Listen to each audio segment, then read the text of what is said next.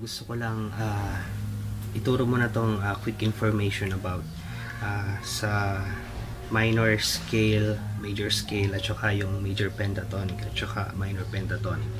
Okay, so mag-start tayo sa ah, minor pentatonic. So, ang gagawin nating example dito naki is A.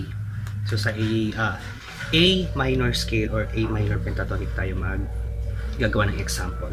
So, yung naririnig yung minor scale, ah kadalasan talaga ang or ang most common term talaga dito is natural minor scale.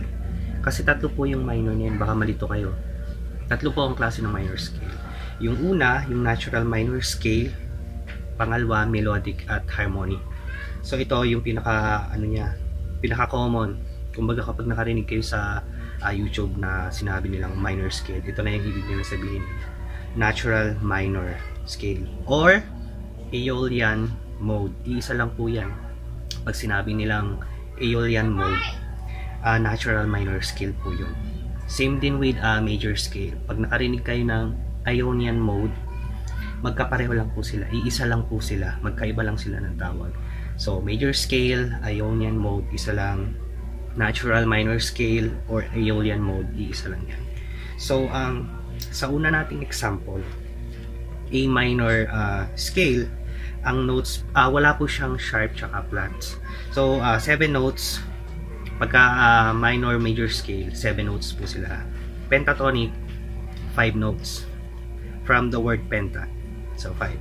So, ah, sa minor scale, ang notes po natin ay A, B, C, D, E, F, G. So, yung A minor pentatonic naman po, yung kukunin nating notes from uh, the minor scale is yung first note which is A, third note which is C, fourth note which is D, fifth note which is E, and yung seven notes, uh, seventh note which is uh, G. So ang A minor pentatonic natin po is A, C, D, E, G. Yung notes na kukunin natin from the minor scale is yung first, third, fourth, fifth, at seventh note. Okay? So sa A major uh, scale or Ionian mode, ang uh, mga notes po natin ay A, B, C sharp, D, E, F sharp, at G sharp. So sa scale po na to, meron tayong tatlong uh, sharp which is C sharp, F sharp, and G sharp. So sa A major pentatonic, um, kukunin naman natin notes from A major scale is yung first note A, uh, second note B, third note which is uh, C sharp, fifth note which is E, and yung sixth note which is uh, F sharp. So yan po ang magiging A major pentatonic natin. Then, ang kinagandahan kasi niya, yung minor penta, uh, pentatonic for example, kapag medyo na-bored ka na sa notes, 5 notes lang yan eh, parang gusto mo pang mag-add ng flavor, anytime pwede ka mag-switch ng A minor scale, magdadagdag ka lang ng 2 notes. So, ando doon na agad yung 5, 2 notes lang ang dadagdag mo. At, nasa A minor scale ka na kaagad. ba? Diba? Same din with uh, A major pentatonic. So, 5 notes yan, mas madaling pag-aralan, mas madaling uh, ilatag yung shape niya dito sa gitara. Tapos, anytime na medyo na-boring ka na, oh, tingin mo, may parang, uh, may parang kulang, kulang na notes or parang dagdag flavor. Anytime, pwede ka mag-switch sa uh, A major scale. So, ayaw ko muna kayong guluhin dito sa time na to. In-explain ko lang para kahit pa paano may, medyo may konti tayong background about uh, major pentatonic at saka minor pentatonic. Okay? So, i-explain ko na sa gitara kung uh, paano gagamitin ito at kung kailan gagamitin. Okay? So, A minor pentatonic, A major pentatonic, kahit anong key po yan. So, for ex uh, example lang natin na ang A sa ngayon.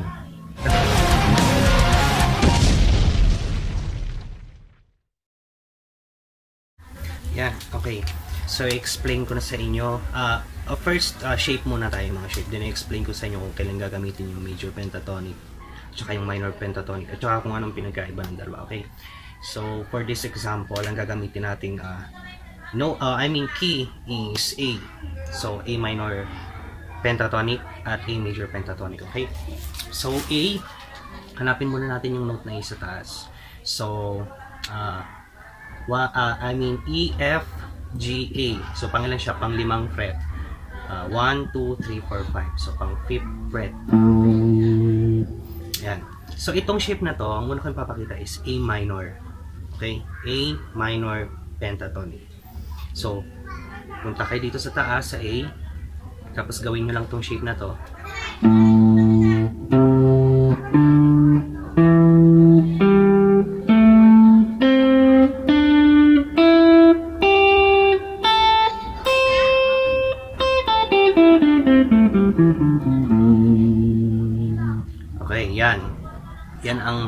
A minor pentatonic. So, pag sinabing minor pentatonic, kuhanin mo lang yung root. For example, uh, G. Uh, hanapin mo yung G sa taas. So, ito yung G. Tapos, uh, doon mo ipi-play yung, ano, yung, yung shape natin. Mismo.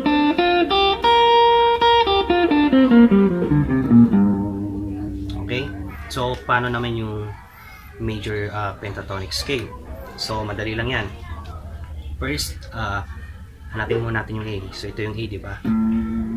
Yung A minor pentatonic, ganito, di ba? Tinuro ko sa inyo kanina.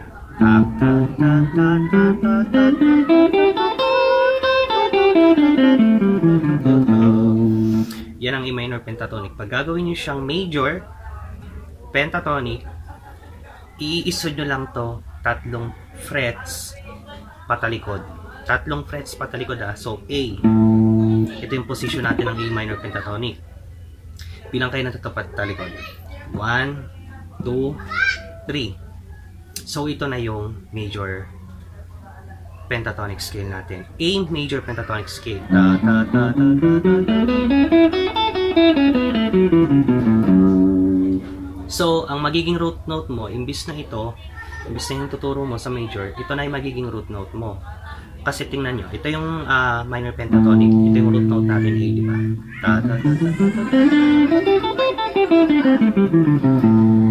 Pag ginawa nyo siyang major, syempre isod natin tatlo pabalik, ito na yung magiging root note niya. Itong dulo, ito na yung A. So, dito ka mag-start.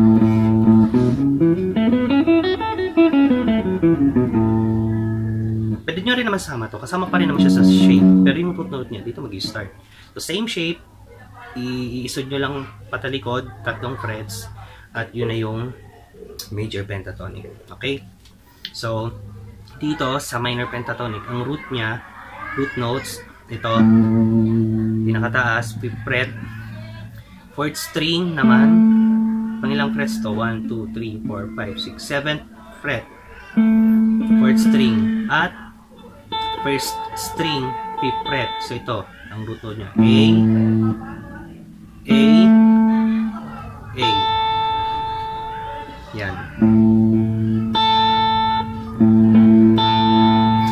naman sa uh, major pentatonic, uh, dito, ang magiging mga root notes nyo is ito, uh, 6th string, 5th fret, tapos ito naman, 3rd string, 2nd fret, tsaka ito.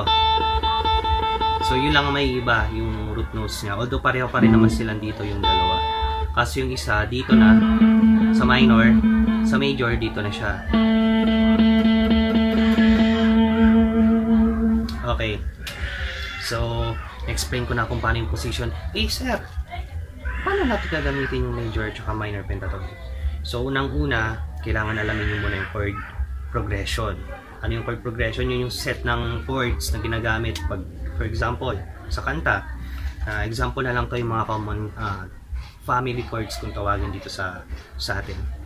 G, E minor, C, D. Yan ang chord progression, yung mga set ng chords na ganyan. Uh, na bumubuo sa isang kanta or sa kung ano pa man sa yun na yun. so, paano alamin kung uh, anong gagamitin, minor or major. Ganito yan. So sa chord progression, alamin nyo kung ano yung pinakaunang chord. So, uh, for example, ito G.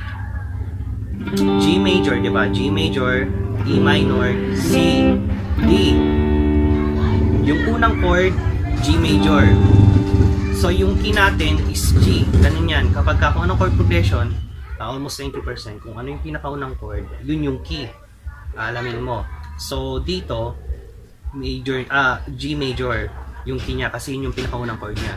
So, ang gagamitin natin is G major pentatonic. Okay? So,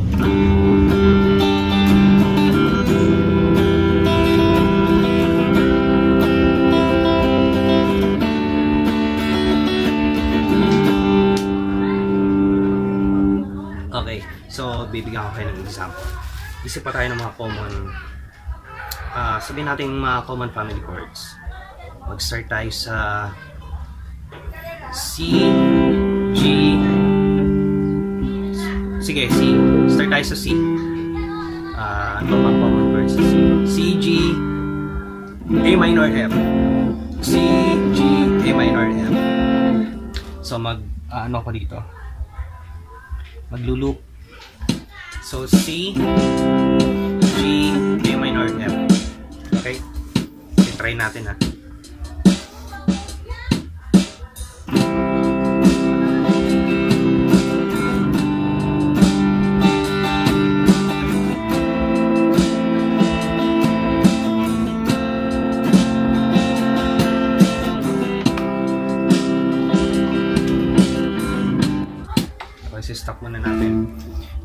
Ang chord progression natin is C, G, A minor, F. So, paano malalaman kung, kung anong key yun? Alamin natin kung ano yung unang chord. So, yung unang chord is C major. So, since C major to, ang gagamitin, ang gagamitin nating uh, pentatonic scale is C major din. C major pentatonic. So, una nga, hanapin natin sa task kung nasan yung C. So, uh, E, F, G, A, B, C. So, ito yung C. So, anong sinabi ko kapag ka, uh, major pentatonic? Iisod mo na tatlong beses patalikod, di ba? So, ito ang A minor. Pag gagawin natin siyang major pentatonic, tatlo, patalikod. 1, 2, 3. So, ito na yung shape natin. So, ito na yung magiging root kabila. Pwede nyo pa rin naman sama to. Basta kailangan nyo tandaan yung mga root notes niya. So, ito na.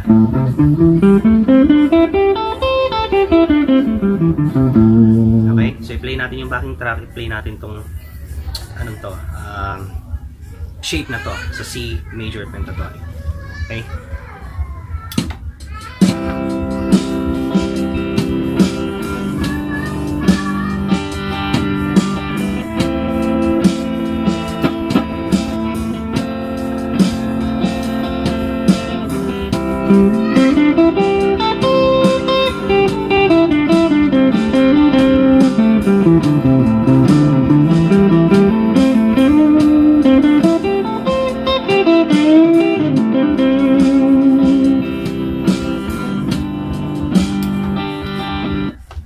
Mapapansin nyo, di ba yung tunog pasok na pasok agad.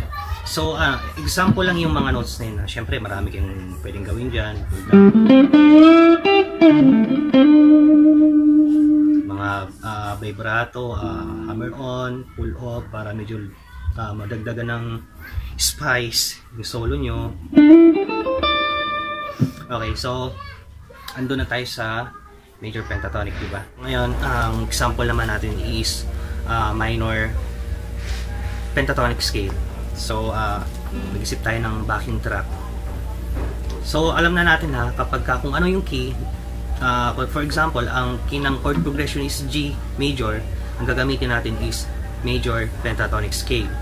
Pag ang key naman ng chord progression ay minor, so minor pentatonic gagamitin natin. So, bigyan kayo ng isang example ng uh, chord progression na merong uh, minor key. So, ito medyo common din to eh. So, start tayo maggawa ng backing track din mamaya sabay natin.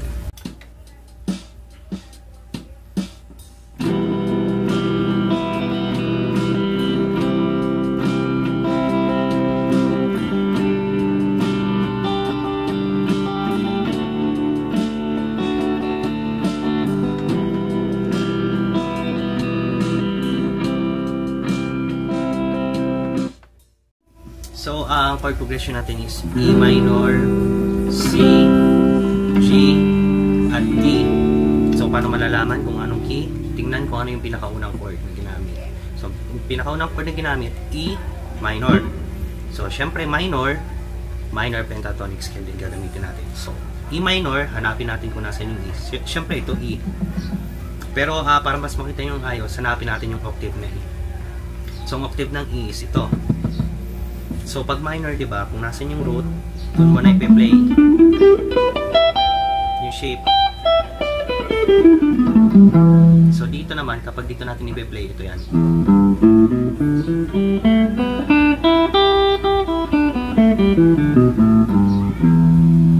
Okay? So, ipaparinig ko sa inyo yung uh, uh, piplay lang natin tong shape na to uh, kasama ng backing track na may chord progression na ano, yun nga, E minor C G D sa E minor key. Okay? So, play natin.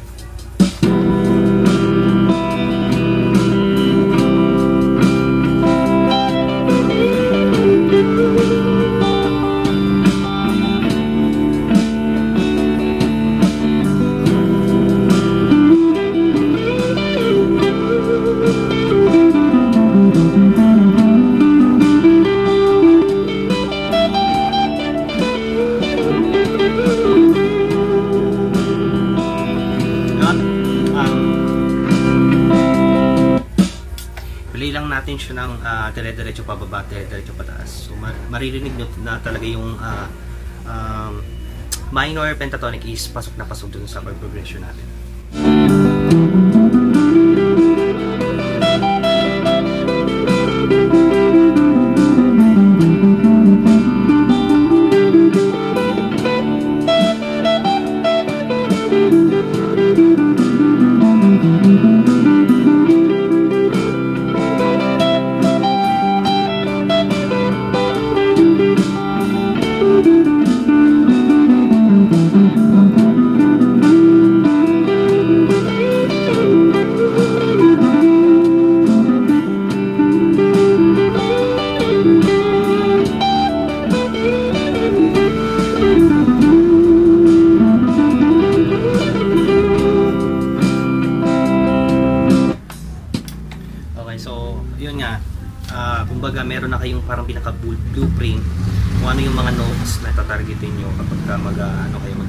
Mag-improvise kayo so ang kailangan nyo na lang is mag-isip ng magandang melody.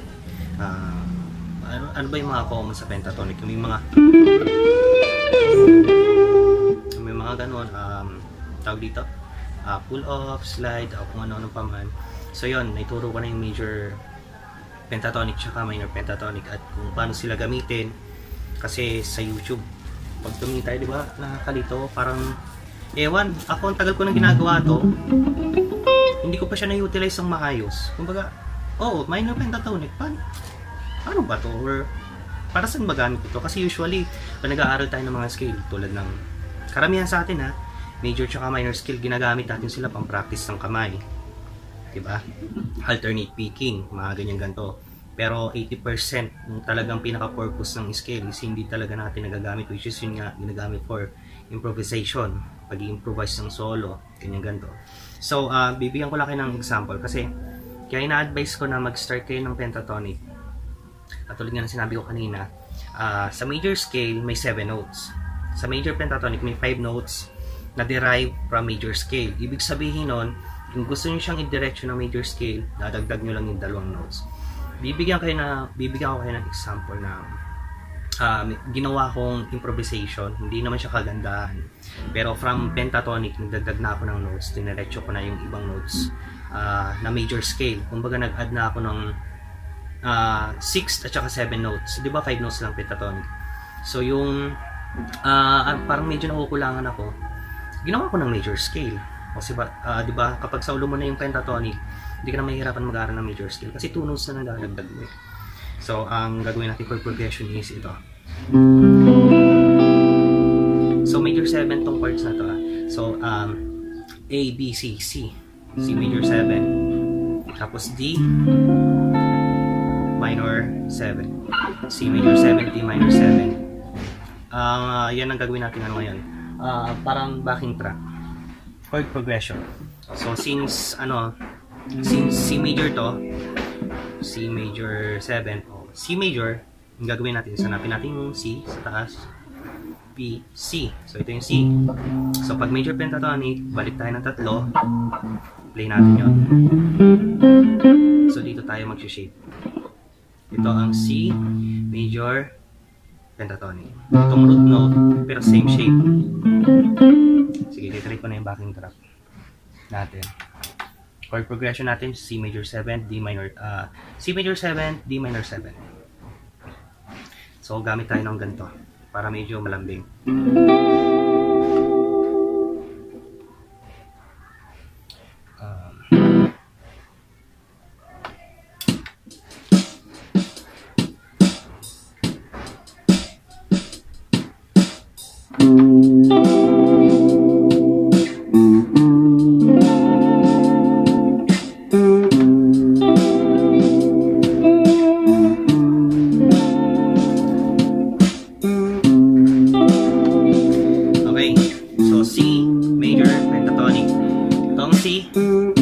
Uh, A, B, C. Itong C, since major, babalik tayo tatlo. So, ito yung shape.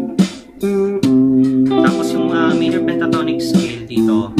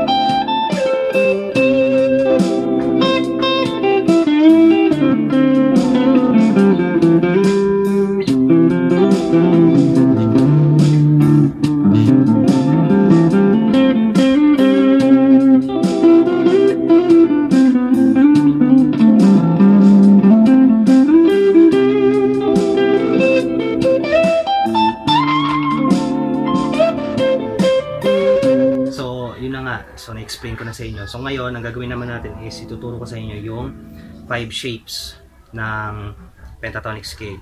So, tandaan natin, kung anong shape ng minor pentatonic, same din siya ng major pentatonic. Tulad nga ng sinabi ko kanina, kung ito yung A, ito yung A, A minor pentatonic, same din yung A major pentatonic. Put natin ng tatlo, same shape lang siya.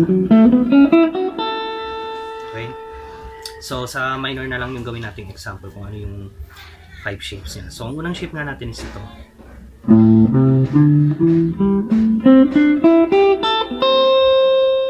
Okay, so ito yung pangalawang shape natin.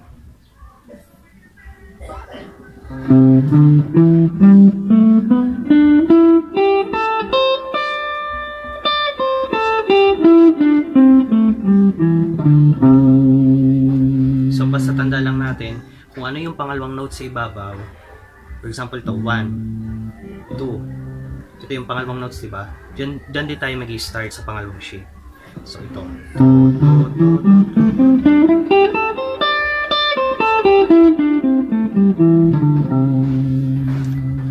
So, ang unang shape natin ay sa ah, A, minor to ha, A minor pentatonic. Ang unang shape natin is dito sa A, 5th fret. 1, 2, 3, 4, 5. 5th fret. Pangalawa natin is uh, 5th, 6th, 7th fret. Ay, I mean, 8th fret pala. 6, ay, 5, 6, 7, 8th fret. Yung pangalawang ano natin shape. Ito.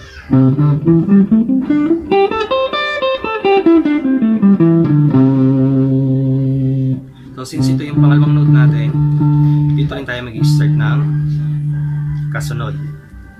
Pang 10th fret. Ito.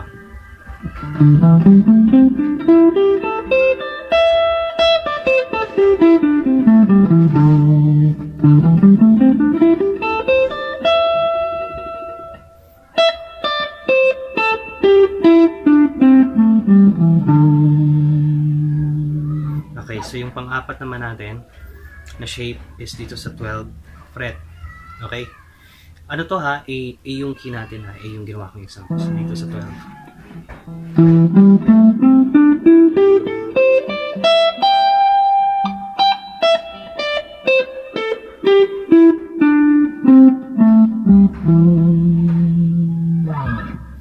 Okay, yung sunod naman natin is dito. Pang 12, 13, 14, pang 15 fret.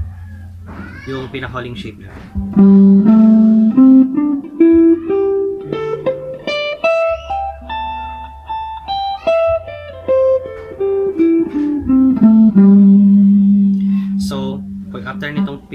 Shape, balik na naman tayo dun sa pinakaunang shape yung yung octave na yung pinakaunang shape natin. So, unang shape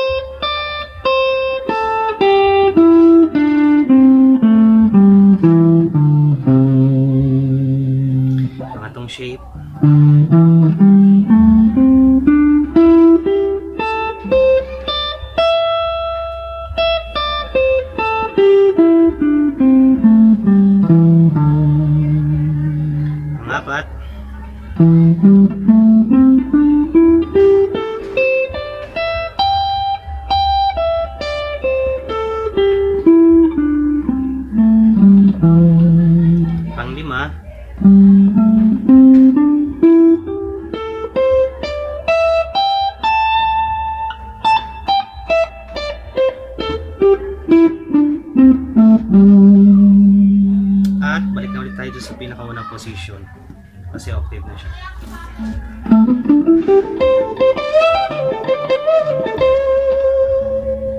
Okay? So kung ano yung pattern dito, same din siya pagka minug mo siya ng major uh, scale ng uh, I mean ng major pentatonic, 'di ba? Ito A minor pentatonic. Pag minug mo siya ng A major pentatonic, same shape din siya, magkaparehong magkapareho lang. Kapag nalaman mo yung shape ng main ang minor pentatonic, alam mo na rin yung major pentatonic. Iisod mo lang siya. Tatlong frets patalikod, okay? So magawa tayo ng isang isang example. Ano ba?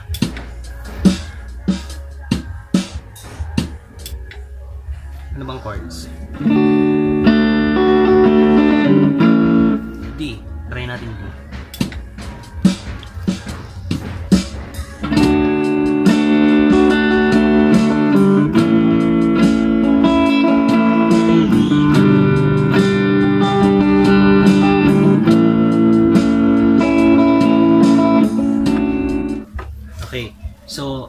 progression natin ay D, A, G, A.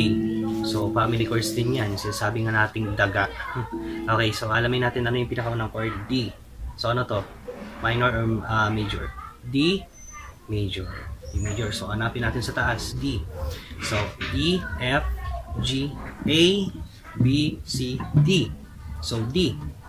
Anong sinabi natin pagka uh, major pent- uh, pentatonic? Isod natin tatlong frets patalikod. Okay? So, ito yung D. Para maging major pentatonic siya, isod natin ng 1, 2, 3. So, ito na yan.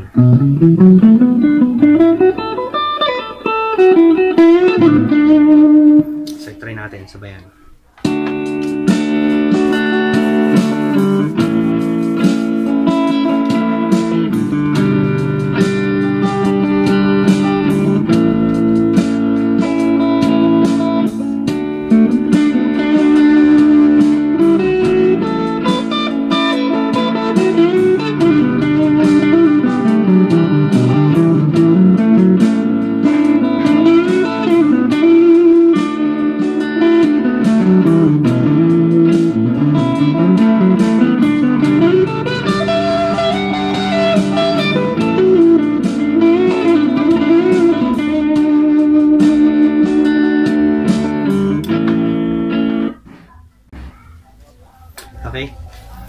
Think, um, sana naman na-explain ko sa inyo ng maayos kung paano gamitin yung major at minor pentatonic para uh, magamit nyo na rin uh, in case meron kayong mga jamming-jamming dyan kahit saan pa yan, kahit sa tabing tindahan, sa bahay, sa mga tropa mo, kapanda mo, malaking bagay to.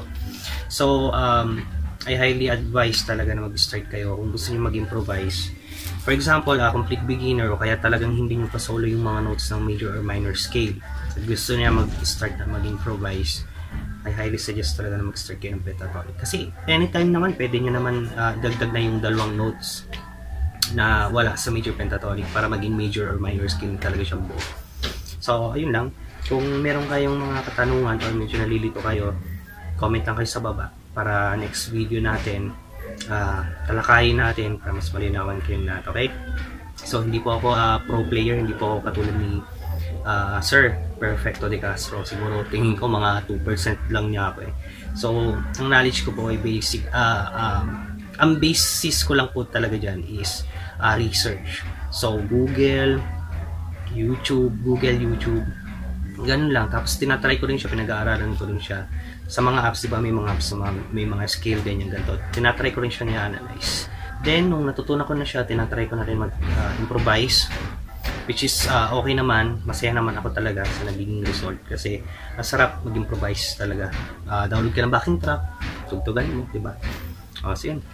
Sana nakatulong ako sa inyo and uh, kung natulungan kayo uh, huwag niyong kalimutan mag-subscribe kasi malaki pong tulong sa akin yan para sa paglago ng channel natin. Kasi uh, pagka tumabot na tayo ng 1,000 subscriber uh, mamimigay po tayo ng guitar pedal. Pero hindi naman syempre yung mamahaling pedal. Hindi naman tayo mayaman. Hindi syempre yung mga stomp lang muna siguro mga halagang uh, 1.5 to 2K. So yung mga ganun. Uh, huwag nyo rin kalimutang uh, i-hit like yung video natin para mas ma-share pa siya sa uh, ibang mga Pilipinong gitarista din natin na uh, gusto ring matuto or medyo nalilito pa kung paano talaga gamitin yung mga pentatonic scale. Okay? So major and minor pentatonic scale. So, punta kayo sa YouTube ngayon, uh, search kayo ng backing track, for example, A minor backing track, and then i-try nyo yung tinuro ko. Okay?